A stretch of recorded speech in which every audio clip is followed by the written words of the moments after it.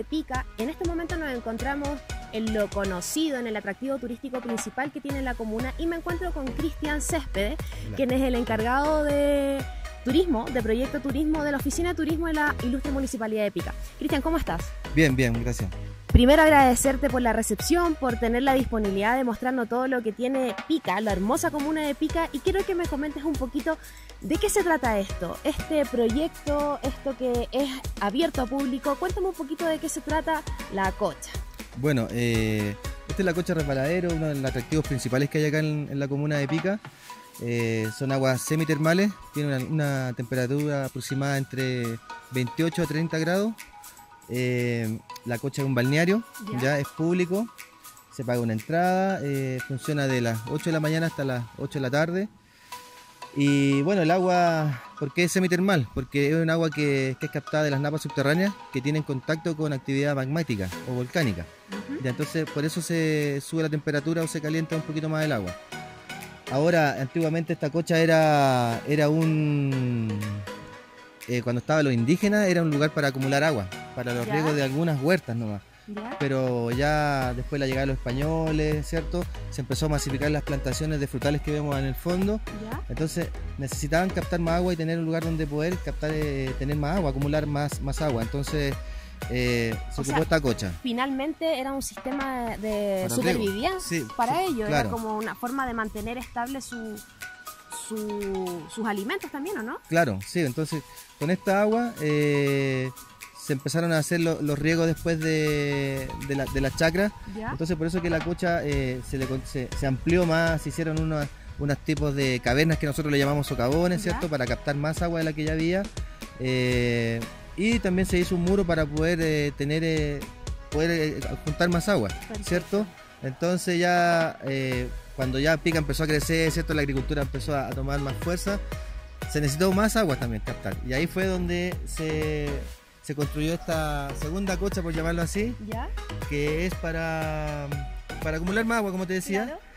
Pero también tenía otra función que después ya cuando empezaron a llegar más habitantes, obviamente, aquí se ve un árbol de higuera, eh, la cochita que está acá abajo, esa eh, la ocupaban como para lavar ropa. Por eso que tenemos ah, también las imágenes que están ahí a tu espalda, eh, haciendo alusión a las lavanderas de pica. Que las vamos a ir a visitar para que la gente conozca y, entienda que en la costa todo tiene un sentido. Somos el único oasis eh, eh, a nivel nacional en Chile y sudamericano hay dos, creo que hay uno en Perú y, el de acá de, Pica. Así que esa condición es súper importante tomarla en cuenta, ¿cierto? Porque es algo que nos diferencia, que somos, por decirlo así, entre comillas, somos como únicos. Así que eso, eso es buenísimo. Maravilloso. Y por supuesto, chicos, Revista Mi Norte está aquí, en el único oasis de Chile, en la comuna de Pica. Cristian, por último, quiero que invites a todo el público, a todos quien van a visitar nuestra revista, quien va a visitar nuestro fanpage, que va a pasar por acá abajo, y para que los deje invitados acá a la cocha y a la comuna, por supuesto. Bueno, los invito a todos para que vengan al oasis de Pica a disfrutar de las bondades del clima, de las frutas eh, y de todo lo maravilloso que pueden encontrar en este lugar. Eh, les insisto, vengan a visitarnos porque es un excelente lugar para descansar, para relajarse y para entretenerse. Así que los dejo nuevamente invitados. Y nosotros, por supuesto, vamos a seguir recorriendo con Cristian. Tenemos más sorpresas, vamos a conocer otros lugares turísticos para que usted, por supuesto, arme su panorama este verano 2018. Chicos, y en nuestra primera parada nos encontramos en el restaurante Gato Rápido, San Sebastián, restaurante de comida rápida, y nos encontramos junto a Joana Saez, quien es la administradora del local, y nos va a comentar un poquito de qué se trata este servicio en la comuna de Pica. ¿Cómo estás, Joana? Muy bien, aquí, feliz. Qué bueno, Joana. Cuéntanos un poquito, ¿cómo nace la idea de este restaurante? Bueno, en realidad este es un restaurante familiar, ¿ya? Eh, bajo la necesidad, obviamente, como familia, de tener un ingreso para poder mantenernos. Eh, mi mamá con su habilidad, obviamente, en la cocina, en general, en todo tipo de cocina, eh, se inició, bueno, emigramos desde la ciudad de Arica, en realidad, en el año 97, donde ya también trabajábamos con el tema comida, y aquí llegamos derechamente a instalarnos a un negocio, obviamente partimos en diferentes lados, ya luego en unos par de años logramos instalarnos acá primeramente con un solo local, ¿ya? un pedacito de lo que es el local hoy día donde partimos con el tema restaurante. Siempre enfocado a lo que es comida eh, casera. Perfecto. Todo lo que es la cazuela, el asado, el pollo. Joana, eh, te invito a que le comuniques al público, que lo invites a al restaurante El Gato Rápido para que vengan a disfrutar una tarde con su familia, a desayunar, almorzar, a cenar, como ellos quieran, porque debo decir chicos que la comida es bastante rica. Así que, eh, Joana, invita al público, por favor. Bueno, la invitación siempre está abierta a que vengan a Pica. Aquí van a encontrar un oasis sin igual. Pero por supuesto tienen que pasar por el Gato Rápido. El Gato Rápido San Sebastián es un restaurante familiar que te ofrece todo lo que es eh, comida casera, jugos naturales, sándwich, todo siempre fresco, rico, eh, un espacio amplio donde se entiende que es familiar y vas a encontrar siempre, incluso hasta juego, algunos jueguitos ahí para los niños, para, que revoloteen mientras tú comes, puedes estar tranquilo viéndolo. Así que la invitación está hecha a que vengan, vengan a Pica y por supuesto pasen por aquí por el gato rápido. Y nosotros chicos lo dejamos hasta acá, nos retiramos del restaurante El Gato Rápido en San Sebastián. No olvide venir con toda su familia si quiere disfrutar una rica comida a la carta y muy rápida por supuesto. Así que junto a Joana nos despedimos, será hasta una próxima oportunidad y venga a disfrutar de la deliciosa comida que tiene para ofrecer este restaurante familiar.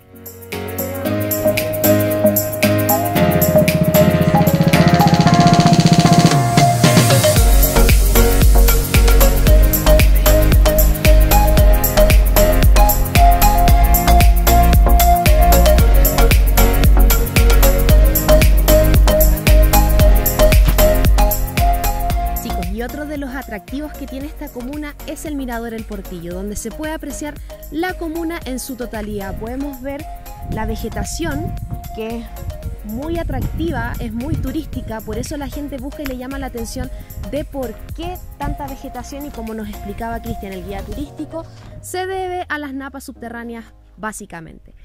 Puede venir para acá, puede disfrutar, puede tomar foto, puede venir en familia. Recordemos que la comuna de Pica se encuentra a tan solo 114 kilómetros de la ciudad de Iquique.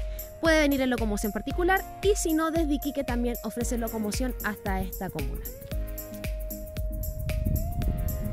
Chicos, y si usted quiere disfrutar de una rica comida, de comida casera, por supuesto no tiene que dejar de pasar al restaurante turístico El Pomelo.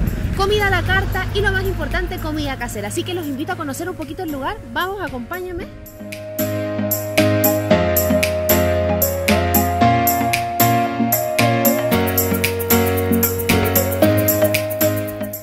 bastante bonito, bastante cómodo, chicos. Tienen que venir, no pueden dejar de visitar este lugar. Y nos encontramos aquí con Sonia Paxi. Hola Sonia, ¿cómo estás?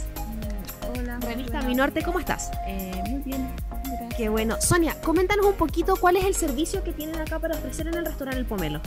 Mm, eh, funcionaba como hotel, pero ahora ya no. ahora ofrecemos solamente comidas y bebidas, porque tampoco hay... Y jugos, jugos naturales con frutos de, pica. Perfecto, o sea, la fruta es toda fruta de la comuna. Natural, sí. Perfecto. Sonia, coméntame un poquito, ¿cuáles son los platos más destacados acá? Lo que la gente llega y pide. El picante y el, el llamito, llamito al romero. El picante y el llamito al romero y además de eso alguna otra comida que sea como típica de la zona o comida típica de Chile. del norte, em, el llamito, el papachuño y la quinoa. Y eso la gente lo pide mucho acá. Sí. Eh, Sonia, te invito por favor a que hagas la invitación abierta a la gente que viene este verano 2018 a Pique y que por supuesto tiene que pasar por el restaurante El Pomelo. Mm, que vengan acá al Pomelo que acá se los va a dar una, un buen servicio. Una buena atención. Una buena atención, tanto como las cocinas, van a comer rico, rico, rico. y, las garzonas también, que son unas niñas muy amables y una buena, le darán una buena atención. Así que les invito acá al Pomelo. ubicado que está ubicado en en, la, calle. Aquí abajo va a aparecer la dirección, por supuesto, chicos.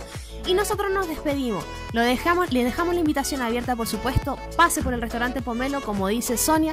La mejor comida y la mejor atención, por supuesto. Y todo esto en la comuna de Pica. Cristian, cuéntame de qué se trata esto un poquito. Vamos como acercándonos a un callejón y podemos fijarnos que hay como unos dibujos, está todo muy colorido. Cuéntame de qué, se trata específicamente esta zona de, la comuna de Pica. Bueno, vamos ahora nosotros a ingresar al sector de los callejones. Estos son antiguos caminos que llevaban a la, que llevan a las chacras. Hay callejones que son transitables a pie y otros que son transitables con vehículos. Eh, hay una red inmensa de, callejones por, la parte agrícola del, pueblo de Pica, eh, que están conectados también con los canales de riego que vienen desde la cocha, donde visitamos anteriormente.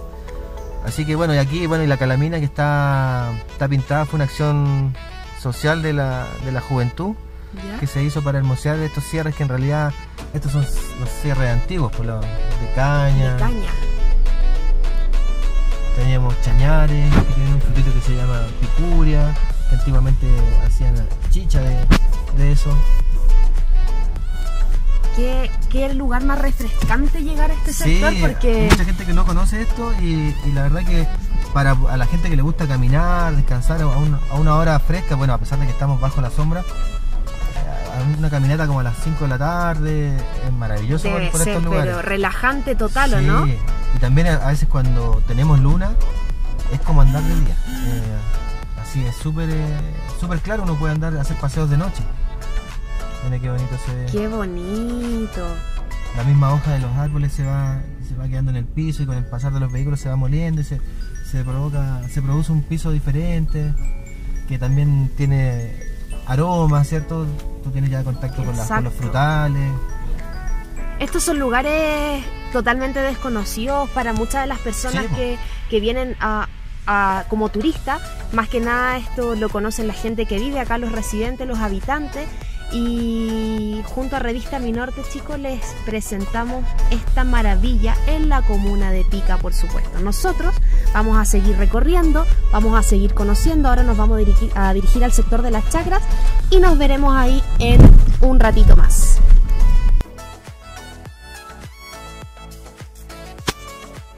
Bueno, otro de los sectores a los que nos hemos trasladado es a Sombra y Verde, un sector de recolección de fruta que se conoce como chacra. Cristian, cuéntanos un poquito de qué se trata esto. Bueno, estamos acá en una chacra típica del oasis de Pica. Eh, esta chacra se llama Sombra Verde. Aquí se trabaja con agroturismo. La gente puede venir a, visitar esta chacra, eh, descansar, pasar un, lugar de entretención y tener eh, vivir la experiencia agrícola, la, corta de fruta, ¿cierto? el riego Em, aprender de todos los trabajos que se hacen acá en, la, en las chacras de, Pica eh, y tener un contacto directo con la naturaleza. Perfecto, cuéntanos un poquito qué tipo de, frutas podemos encontrar acá.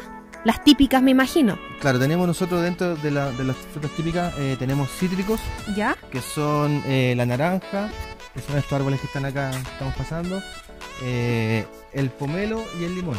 Aparte hay otras variedades como la naranja tangelo, eh, otras variedades de limones, pero eh, esas son eh, las, más, las más conocidas, ¿cierto? las más antiguas.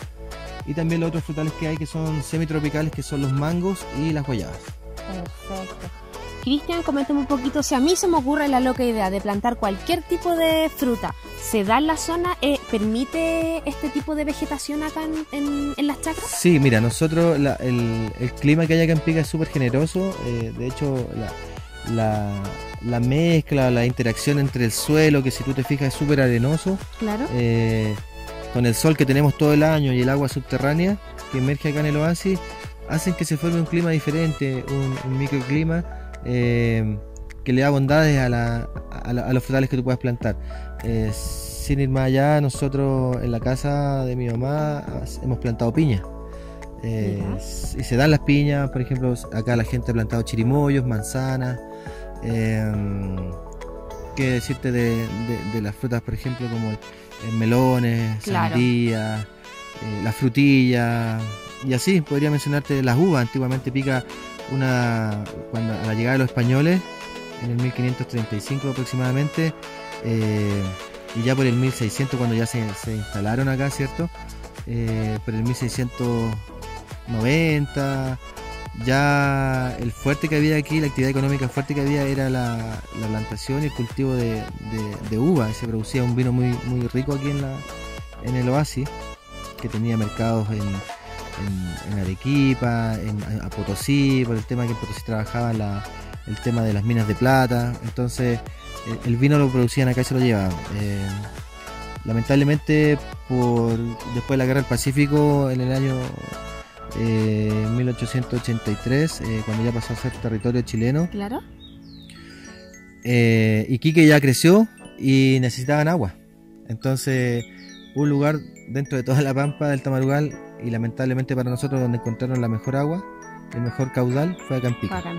Eh, a, un kilómetro y medio, dos kilómetros de acá está el Valle de Quisma y ahí encontraron eh, el agua, que esa agua en realidad existía, siempre no que la hayan encontrado, y esa agua era la que regaba las laderas de los cerros donde estaban plantados los, los viñedos. Así que sin ninguna consideración, por decirlo así, se llevaron nuestra agua y la gente les expropiaron esa agua y la gente tuvo que irse al lugar y el vino de pica fue en decadencia hasta que se acabó. Eh, dice la gente que, también había un tema eh, económico, que el, vino de pica estaba tomando mucho más auge que el más tiraje que el vino de las, del Valle Central y habían ahí quizás ¿Y por qué no? ¿Por qué no problemas de ego y por qué no creerlo, sí. De hecho, el vino de, pica en 1912 ganó una medalla de oro en Francia en una competencia.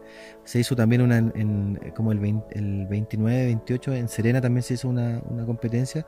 Volvió a ganar medalla de oro en Francia, el vino de acá pequeño. Y la última vendimia que se hizo fue en el año 1935 aproximadamente.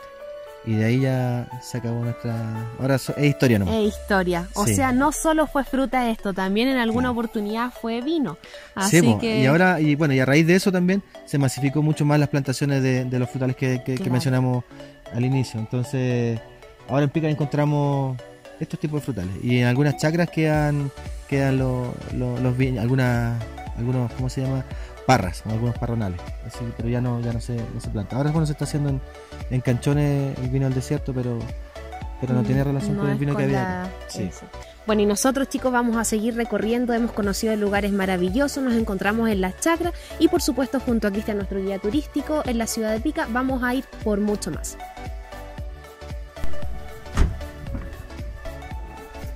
Chicos, y como por supuesto el lugar que no debe faltar en la comuna y en la comuna de Pica es la farmacia. Nos encontramos fuera de la farmacia Oasis, la única farmacia de la comuna por supuesto y la primera que se instaló en este lugar. Vamos a conocerla, también vamos a hablar un poquito con su dueño y que nos cuente de qué se trata esto. Leonardo, ¿cómo estás? Mucho gusto. Hola, mucho gusto. Revista Mi Norte se hace presente destacando lo mejor de esta comuna y por supuesto la única farmacia del lugar. Cuéntanos un poquito cuándo nace este proyecto, cómo fue el acogimiento de las personas.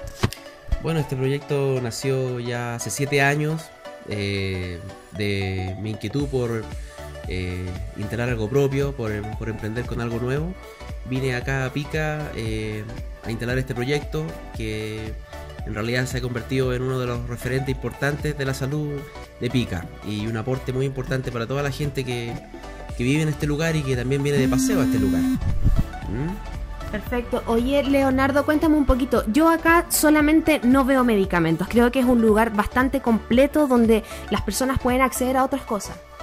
Claro, bueno, eh, hemos intentado, ¿cierto?, dar un, un, servicio más completo a toda la gente y esto se ha ido dando de manera natural porque la gente ha ido eh, comprando, diciéndonos qué es lo que le hace falta, qué es lo que quiere comprar, qué es lo que le gustaría tener acá en Pica y, hemos ido eh, abasteciendo el local de esa manera, digamos, con, los requerimientos de la gente y hemos llegado hasta ahora que, bueno, que eh, hemos tenido una buena acogida en, ese sentido. O sea, por supuesto, si usted viene a Pica, Aquí lo va a encontrar todo, desodorante, artículos de aseo y por supuesto medicamentos. Leonardo, por favor, invita a toda la gente que si viene a Pica tiene que pasar por farmacia o así. Bueno, invito a toda la gente, especialmente en estas fechas importantes de, fiestas, a, venir a mi local. Eh, lo estamos esperando. Tenemos interesantes ofertas también de fin de año. Y, estamos siempre esperándolo con la atención personalizada y el buen servicio que nos caracteriza. ¿Mm? Nos despedimos entonces, Leonardo. Muchas gracias. La invitación está abierta. Farmacia Oasis y Revista Mi Norte, por supuesto, está aquí. Chao, Leonardo, que estés bien. Chao, y gracias a la revista por eh, atendernos. No, no hay de qué. Hasta luego.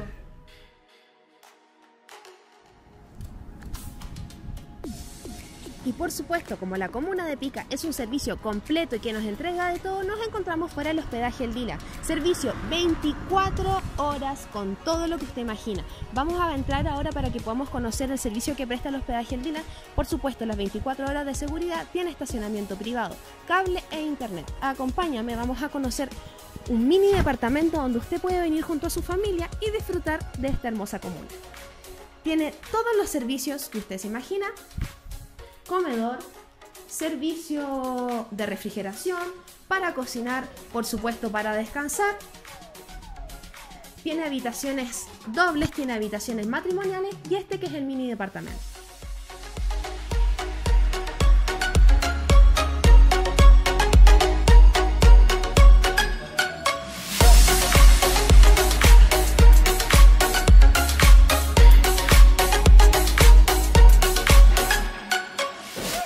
El Dylan, por supuesto, cuenta con servicio las 24 horas y también cuenta con habitaciones más privadas como las habitaciones matrimoniales.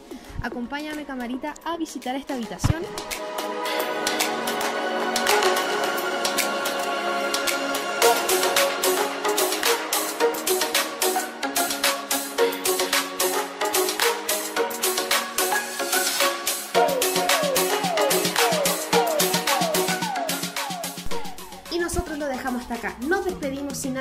Invitados a que, por supuesto, si va a pasar a la comuna de Pique se va a quedar, venga al Hostal El Dylan, donde las 24 horas tendrá el mejor servicio siempre.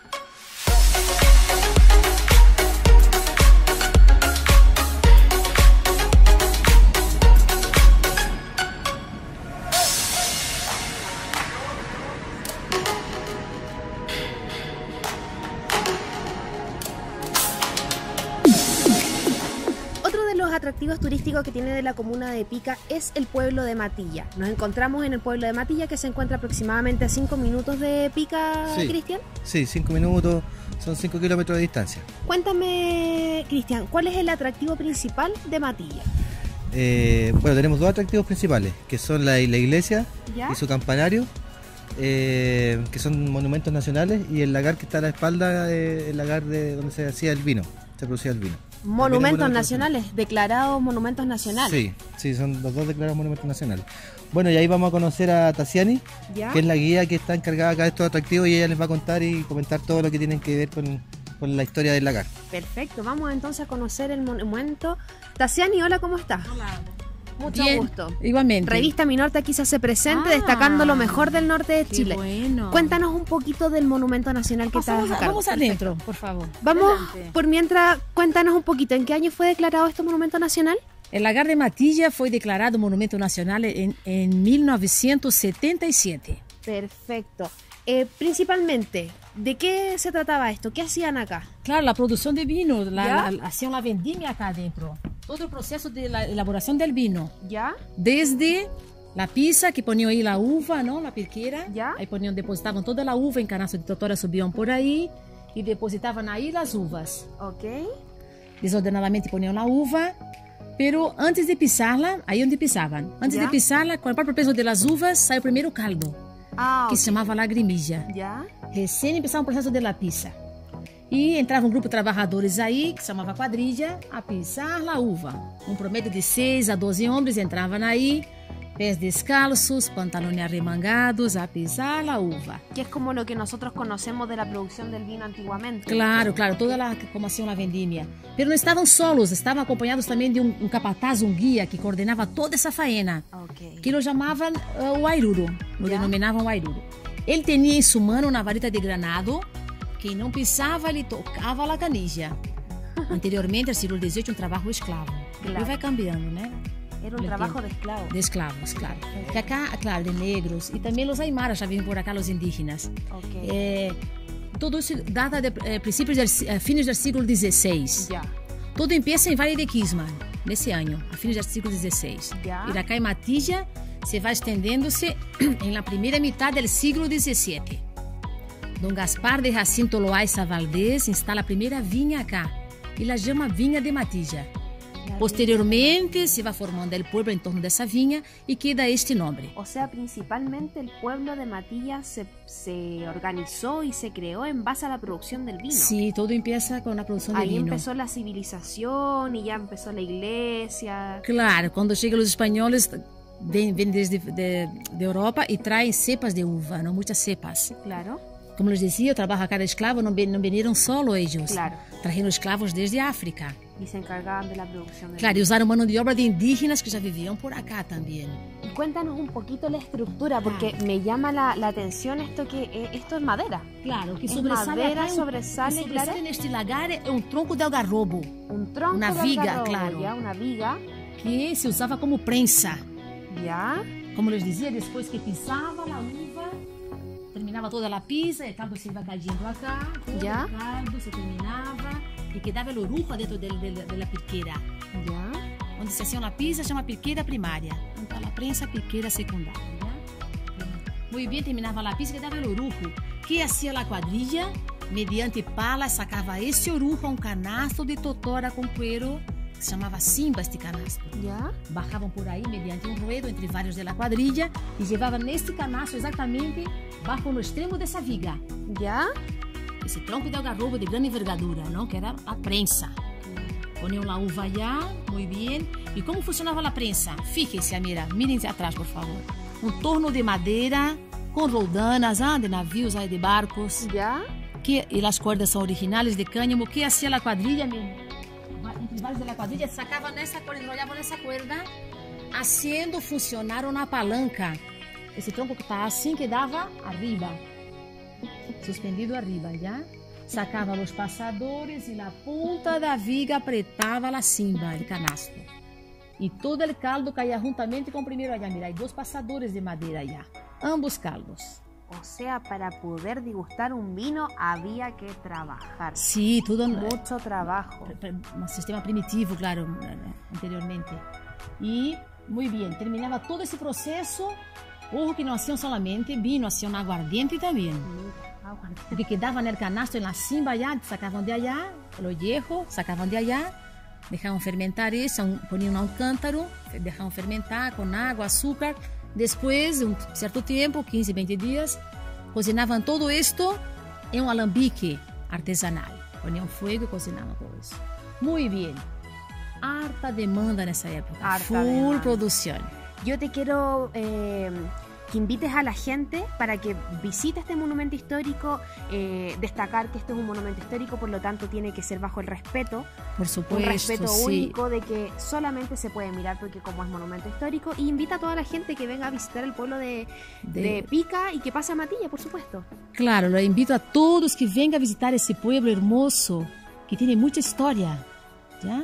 Estamos acá em Matilla, acá temos três monumentos nacionais. A igreja, o campanário e acá estamos no lagar, um sítio histórico, um monumento nacional. Acá se produzia muito vinho. E aí queda a, queda, queda a história, que a gente venha conhecer toda a história deste pueblo. Los inicios del pueblo. Los Era o início, os inícios, não? Os primeiros tempos do pueblo. E para terminar, mira, só para concluir esse tema lindo que é deste lagar, Dom Constantino Medina, dono deste lagar, se foi à França com esse vinho. Em 1907, se vai à França e já ganhou duas medalhas de ouro, por ser um vinho de alta qualidade. E foi hecho acá onde estamos nós outros. Acá donde estamos nosotros, Ese chicos, museo de sitio. el vino Dale. ganó medalla de oro en 1917. Que venha conhecer e conhecer Por a história deste supuesto. pueblo hermoso, desse el único oásis no país. ¿ah? El único oasis del país, el único oasis de Chile, chicos. Por lo tanto, nosotros lo dejamos hasta acá. Vengan a visitar el pueblo de Matilla, que se encuentra a tan solo 5 minutos de Pica. Y nosotros, por supuesto, nos seguimos trasladando. Vamos a seguir conociendo los lugares turísticos de Pica. Y por supuesto, como en toda comuna, cuando usted viene a visitar, no puede irse sin llevar su artesanía. Y nos encontramos aquí en una feria artesanal. Vamos a conocer un poquito, vamos a entrevistar al dueño y que nos cuente de qué se trata su trabajo. Nos encontramos dentro de la feria. ¿Cómo estás, Jorge? Bien.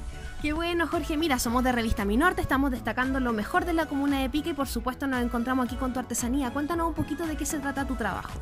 Bueno, mi trabajo se trata de recolectar frutos de acá de la zona ¿Ya? para que la gente se pueda llevar un recuerdo aparte de el agua rica que está en acá. Perfecto. Oye, Jorge, quiero que por favor invites a la gente porque yo estoy mirando acá y es maravilloso tu trabajo. Se nota que hay dedicación, se nota que es un trabajo que lo haces eh, con mucho amor y por supuesto que invites a la gente que si viene a la comuna, que si viene a visitar las termas, por ejemplo, que es el oasis, que a ellos les llama mucho la atención, pasen por acá también. Bueno, los invito a mi negocio que queda a paso de la entrada a la cocha para que puedan venir a llevarse un lindo recuerdo. Y por supuesto atendido por su dueño. Por supuesto. Jorge, quien también hace la artesanía. Jorge, muchas gracias. Un saludo para Revista Mi Norte y para toda la gente que nos visita. Un saludo a la revista que es muy buena y que lo pasen muy bien. Gracias, Jorge. Chicos, y para finalizar, cabe destacar las Cabañas Medinas, un lugar tranquilo al lado de la cocha y por supuesto que ofrece el mejor servicio. Quiero que vean por favor el contexto histórico de esta cabaña que se mantiene desde la época 1800. Ya eh, Mónica, que va a ser quien nos va a contar un poquito, nos va a explicar de qué se trata todo esto que se mantiene muy intacto. Así que pasemos por favor. Permiso. Hola Mónica, ¿cómo estás? Revista Mi Norte, por supuesto, haciéndose presente en la comuna de Pica, tratando de rescatar lo mejor. Y lo que más nos llama la atención de las cabañas Medina es lo rústico, lo que se mantiene, la historia. Cuéntanos un poquito de qué se trata todo esto. Bueno, partiendo, las cabañas que están, las cabañas medinas, que son rústicas, tienen más de 20 años, 30 años, que son las primeras cabañas que hubieron aquí en Pica. ¿Ya? Después de esto, bueno, vinieron la residencia del Tambo y otras, y hoy en día muchas cabañas. más. Pero lo más importante de todo esto es que nosotros la casa que tenemos que es recepción es una casa antiquísima de más de 100 años, con historia familiar, con un salón, museo familiar único yo creo que aquí en Pica. Eso, eso yo quiero que, que por favor, camarita, acompáñanos. Mira esta maravilla. ¿Esto se mantiene desde qué año, Mónica? De más o menos 1850, 1910 por ahí. O sea, esto está intacto tal cual. Increíble. Mira la foto, la decoración. O sea, te felicito porque mantener esto es un trabajo. Un trabajo, pero es de familia y es como un mini museo familiar que tenemos hoy en día acá y que en Pica yo creo que es el único que se mantiene hasta hoy en día. Por lo tanto, invitamos a las personas que si si viene a Pica, si viene a la cocha, pase a las cabañas Medinas que está al costado y puede conocer esta maravilla que realmente a mí me sorprende porque es muy bonito. eh, nos, nos trasladamos a otro contexto histórico Sí. y por supuesto que nos muestre las cabañas, ¿o no? Bueno, vamos a, Vamos a conocer las cabañas.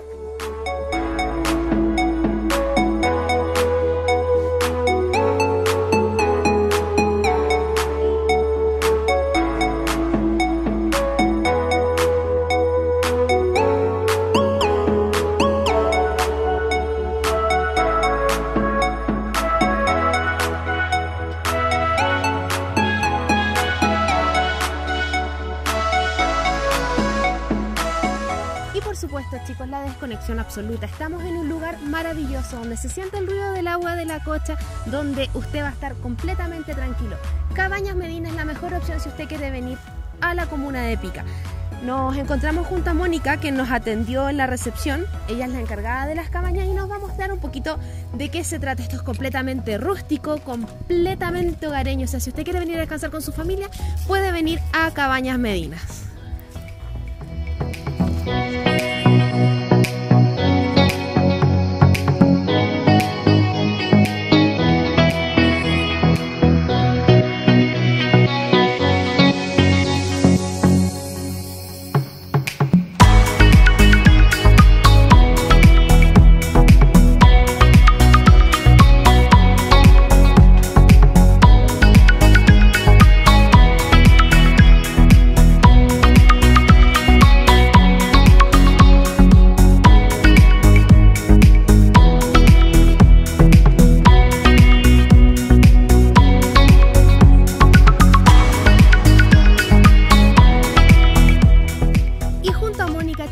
Dejamos hasta acá. Revista Mi Norte se hace presente en todos los lugares. Esta vez le tocó a la comuna de Pica. Mónica, muchas gracias por la recepción, por recibirnos en tus cabañas, porque tenemos que mencionar y vamos a destacar que nos alojamos en una de estas cabañas muy cómodo, por cierto, así que muchas gracias. De nada, pues, bienvenidos Y todos. Muchas gracias y por favor invita a la gente a tus cabañas. Bueno, los dejo a todos cordialmente invitados. Estamos abiertos durante todo el año y ideal este lugar para descansar un fin de semana y desconectarse de la región de la ciudad. Así que están todos cordialmente invitados. Vengan a visitarnos. Y nosotros nos despedimos desde acá. Desde eh, lo más bonito de la comuna de Pica, rescatamos el contexto histórico, fuimos a visitar eh, monumentos nacionales, por lo tanto, si usted quiere venir a la comuna de Pica, no duden en pasar a Cabañas Medina, donde realmente va a descansar. Y Revista Mi Norte lo deja hasta acá, nos despedimos y será hasta una próxima oportunidad.